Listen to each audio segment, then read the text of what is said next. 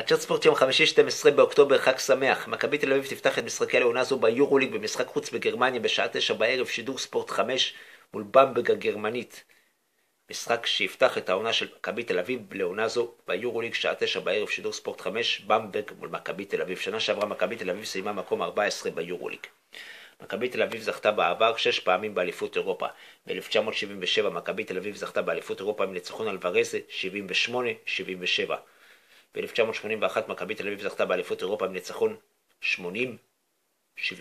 על בולוניה.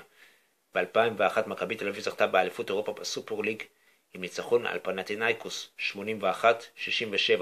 ב-2004 מכבי תל אביב זכתה באליפות אירופה עם ניצחון 118 74 על סקיפר בולוניה. בשנת 2005 מכבי תל אביב זכתה באליפות אירופה עם ניצחון 90-78 טאו ויטוריה. בשנת 2014 מכבי תל אביב זכתה באליפות אירופה עם ניצחון על ריאל מדריד בגמר אחרי הערכה 98 86 98 86 מכבי תל אביב ניצחה בגמר אליפות אירופה בשנת 2014 אחרי הערכה את ריאל מדריד.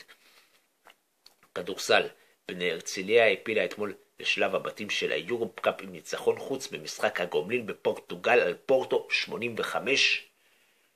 85-83.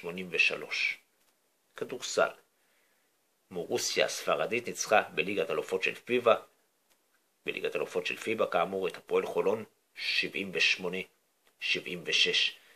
כדורסל יורו-קאפ, הפועל ירושלים במשחק הראשון שלה לעונה זו ביורו-קאפ הפסידה בליטא 86-72 ללט קבאליס. עד כאן חדשות ספורט חג שמח לכולם ולהתראות.